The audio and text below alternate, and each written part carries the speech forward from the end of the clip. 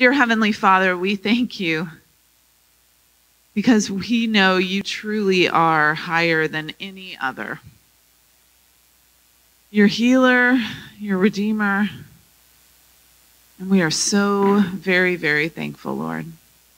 God, I lift up this message tonight and I pray that um, just that your Holy Spirit will be here, that it'll be real and tangible and palpable. And I pray that regardless of the words that I speak, that each person here walks away with what you want them to know. God, we love you and we give you all the glory. Amen. Okay, so the last few weeks we've been forgetting to um, do the offering. And so, um, what we're going to do, AJ's just going to walk around. I'm going to start the message. And so, if you have um, something to put in. And remember, if you have change, um, all the, the loose change offering is going to Zoe Ministries. And so, uh, which is an orphan empowerment ministry that we're really excited about. And we'll have an empowerment group in Zimbabwe. So, tonight is the last message on our sermon series on how to neighbor. And um, let's see, we've talked about, we've, this is week four and um, the phrase how to neighbor comes from the great commandment. So to love the Lord your God with all your heart and all your mind and all your soul and all your strength and love your neighbor as yourself. So we've been talking about different ways to love our neighbors. So you guys probably can can do this better than I can, but we so we talked about the races reconciled. We've talked about orphans embraced. We've talked about the poor empowered and tonight it's the final night, and we're talking about loving the lonely. Loving the lonely. So I want you to just think about it. You can close your eyes if you want. Think about who do you know who's lonely? Who in your sphere of influence is lonely? Think about it for a moment. Okay. Can open your eyes if they're closed. You know, if we go back to way, way in the beginning of the Bible, the book of Genesis, the very first story, the creation story, and God makes everything. And what does He say? He creates something and He said, and that is very good. It's very good. Then He makes Adam, and Adam's alone. And what does He say? He said, It is not good for man to be alone. Because, see, we as human, human beings, we are created to be in connection with one another. So we are not created to be solitary beings. We are created for connection with one another. Um, and loneliness is a growing problem for us in first world countries. And it's what we would call relational poverty. So the reality is that you can be around a lot of people and feel very alone. And maybe that's something that you guys have, have experienced before. You can sit in a crowded church and feel very lonely. You can be a stay at home mom, be surrounded by little kids, and feel very lonely. You can be at work, you can be surrounded by a, a plenty of coworkers, but not feel close to any person and feel very much alone. You can be a college student living in a dorm with all these people around you, day and night, and you can still feel isolated and by yourself. You can be in a dysfunctional marriage and literally be sleeping next to someone every single night and yet feel so alone. So last week, remember, we talked about material poverty. And material poverty is when we, we don't have um, the things we need in life to be the material things we need in life food, shelter, transportation um, to, to live meaningful lives. So that's material poverty. And that's what we typically think of when we talk about poverty. But relational poverty is also a significant issue. And that's when we lack the intimacy and connections that we need to live a meaningful life. So you could have people around you, but you feel you don't feel like people care. Or you don't feel like you have anybody around you that you can trust. That's relational poverty. And this is a growing problem in the West. I wouldn't say just in the United States, I would say in Europe too. In fact, when I recently went to Norway and Germany for school, when we talked to the people in Norway, Norway is a country where no one wants for material things. They have plenty of money. They have oil, so everybody everybody has lots of stuff. But over and over again we heard people say the number one problem they're facing in Norway is loneliness. Because stuff doesn't fill that void. Stuff doesn't bring you connections with other human beings. And so this has happened for a number of different reasons across Europe and the United States. And I'll just briefly touch on this. There's a breakdown of the family. So when somebody, to think about what happens when someone gets divorced. You know, maybe he gets these friends and she gets these friends and she gets the church. But there's a breakdown in relationships. And so it can lead to loneliness and isolation. Increased mobility. You think about it, we move so much that sometimes people don't have the time to, to really establish roots, to, to build relationships with people in a community. There's the issue of heavy workloads. I mean, what do we say? If somebody asks you how you're doing, what do you typically say? I'm busy. I'm really busy. So we're, we're, we're so busy that we don't take the time really to build relationships with other people. And it increases um, isolation and loneliness. And finally, there's the whole thing of social media. And you, you think social media would help us be connected to one another. But the reality is, you get a glimpse into somebody's life with social media, but it lacks intimacy. It's not real connection. So, if you are not currently experiencing relational poverty, if you're not experiencing loneliness, chances are you know someone who is. And I want you to think about this because this is going to be a challenge at the end of this, where you think about the people that you come into contact with on a daily basis, maybe at work, maybe at school, maybe in your family, maybe in your neighborhood, but you think maybe in our church. Think about those people and think about who might be experiencing loneliness. And how do we love the people who are lonely? How do we how do we show the love of Christ to the people who are experiencing loneliness? So we're going to look at three ways that were some of the most common ways that Jesus used to care for people who needed human connection. So how do we love the lonely? Number one, first, we can love the lonely by touch.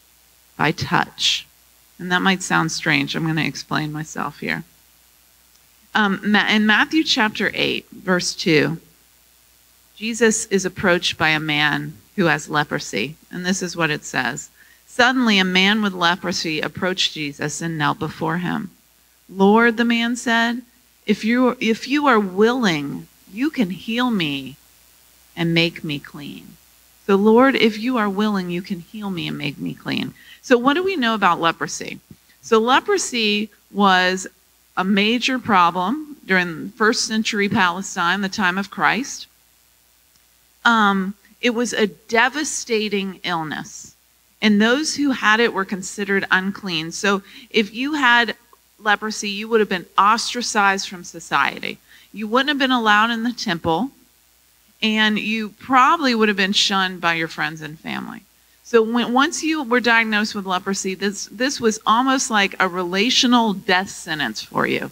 You became an untouchable. So I want you to think about what that would have been like.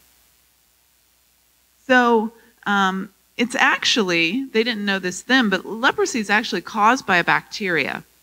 And it affects the nerves, but it also causes the flesh to literally rot off the body. So I chose not to show you pictures of this. I thought, probably don't want to see that. You can Google it later if you're really curious. But it causes the flesh to rot off the, the body. And so what happens when is that people become deformed. You know, they get facial deformities, they're missing parts of their finger. Um, so here, and it's very, very contagious. Very contagious. So here this guy is. He's probably been cut off from his friends and family. But yet he has faith and, and he trusts that Jesus can heal him. And he said, Lord, if you are willing, heal me. And then in verse 3, this is what Jesus does Jesus reached out and touched him. Jesus reached out and touched him, and he said, I am willing, be healed. And instantly the leprosy disappeared. I want you to listen to he Jesus reached out and touched him. And he said, I am willing.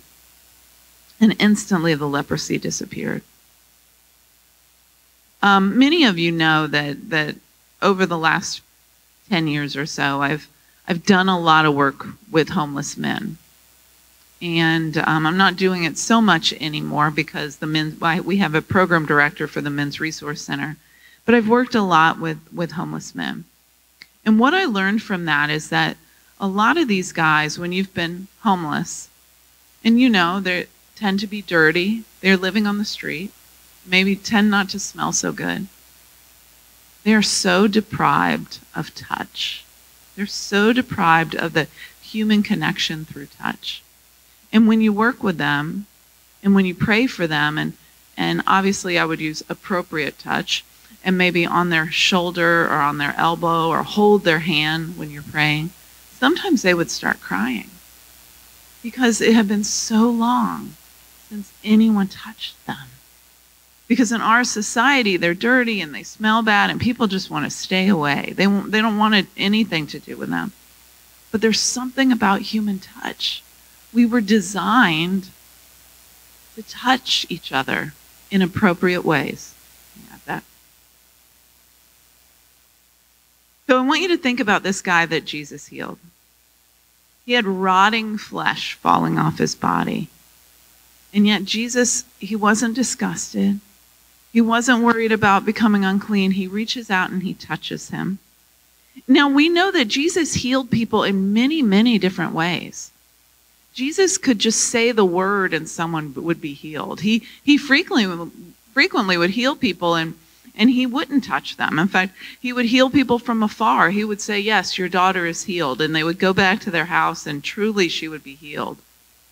I mean, he raised Lazarus from the dead without even seeing him. He was Lazarus within his home, and, and Jesus was, was not touching him. So we know that Jesus did not have to touch this man. He chooses to touch this man.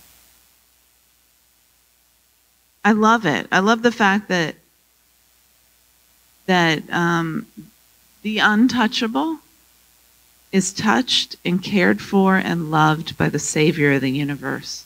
And I think that's a powerful example for us. So, most of us are familiar with Mother Teresa, right? So, Mother Teresa was a nun in the Catholic Church, and most of her work was in Calcutta, India. And she worked with the lowest caste in India, which are called the untouchables. And she made a point to always touch people. I actually have a couple pictures. Let's see if we there we go. So there she's touching a, a young boy who lives on the street. And there's one more. And that one she's touching um, an older man in a hospital. So these were people that, that were told their whole lives that they were untouchable. And yet she expressed Jesus' love through touch.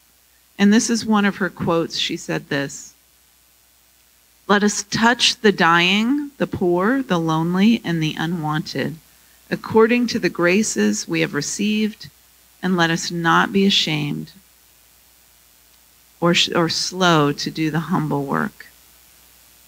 So, touch was so important. So, that's one way that we can show love to the lonely is through touch. We can also show love to the lonely by listening. By listening. That's number two.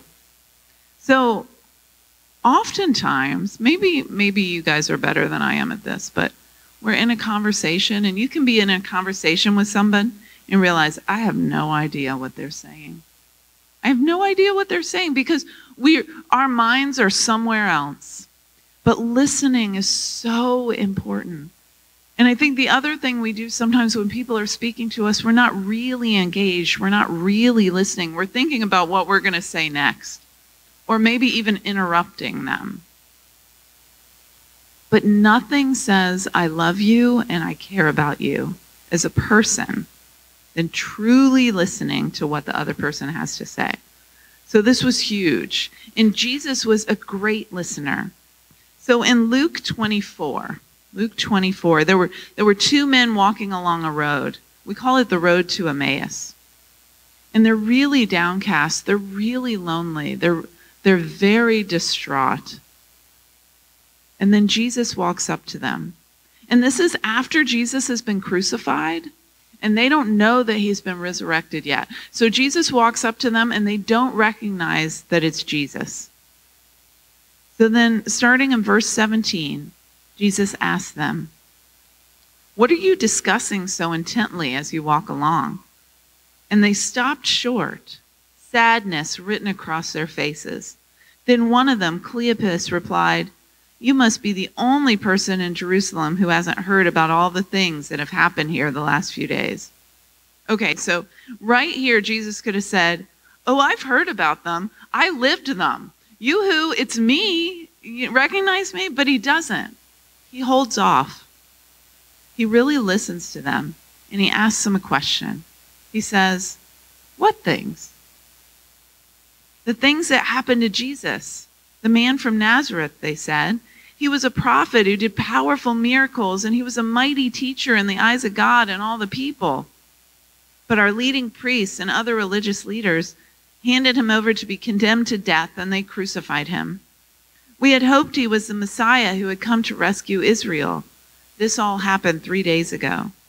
Then some women from our group of his followers were at his tomb early this morning, and they came back with an amazing report. They said his body was missing and they had seen angels who told them Jesus is alive. Some of our men ran out to see, and sure enough, his body was gone, just as the women had said. So they tell him the story, and he really listens. And, and he spends basically all afternoon and evening with them. And it wasn't until they break bread together that they recognize that this is Jesus. This is the resurrected Lord. You know, sometimes we don't have to be quick to speak. Jesus wasn't quick to speak. We simply need to meet people where they were. I think about this story. Jesus met these men where they were. He listened to their, their sorrow. He listened to their story. You know, there's something healing about having someone listen to your story. I mean, that's why people go to counseling. It, there's, there's a healing piece to have some to be able to tell your story and have someone really engage with you, really listen to you. You know, um, oftentimes people will come into my office with really, really difficult problems I mean, really, really heavy stuff. And I can't fix it. I can't come close to fixing it. And sometimes their issues, you know, they maybe they, they owe a lot of money or or they have this really horrible um, crisis in their family, and there's really not a lot I can do. And so I just listen, and I'll pray with them, and then I kind of send them on their way. And I used to feel really bad about that. Like, I wish I could do more. I felt so inadequate. And then about two years ago, I met this man, major problems, but we prayed. And he said, You're the first person who's really listened to me and prayed with me. And I feel so much better. And that just kind of changed my whole perspective that maybe when people come to my office, what they're coming for is not for me to fix their situation, but just to be heard, just to be listened to, because that has power. Because when people are listened to, they feel loved and cared for. So we love the lonely by touch, we love the lonely by listening, and number three, we love the lonely by offering our time. By offering our time. You know, Jesus had three and a half years of ministry, and he fit a lot in that three and a half years. Think about it.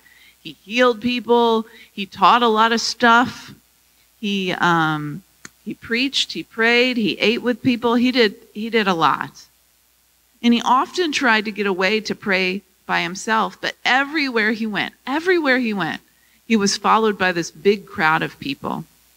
And my guess is he didn't get a lot of rest. He was really really busy. One of my favorite stories is from Luke 5, and maybe you guys remember it. So Jesus was going into went into somebody's home and he's teaching in this home. And it's packed with people. I mean, the people are like flowing out the front door. It's so full. And they're these guys who have a friend who's paralyzed. And they care very much about their friend. And they very much want their friend to encounter Jesus because they feel like if, if they just if he just encounters Jesus that he'll be healed. But there was no way they were getting the friend in the house. So they managed to get the friend on the roof and they all climb to the top of the roof. And they create, make a hole in the roof. I bet the homeowner was thrilled. So they dig this hole, pretty large hole in the roof, large enough to lower their friend. And so they lower their friend right in front of Jesus. Now, Jesus is preaching. He's busy. He's really busy with all these people. Jesus is preaching. And what I love about this story is Jesus doesn't say, Stop, let me finish my message. He doesn't say, let me, let me get through point number three, and then, or, or he doesn't say, You guys are so out of order. He stops what he does and he engages the man and he heals him. He makes time for him. And I think about that because time is a really big deal. Giving people our time shows that we care about them.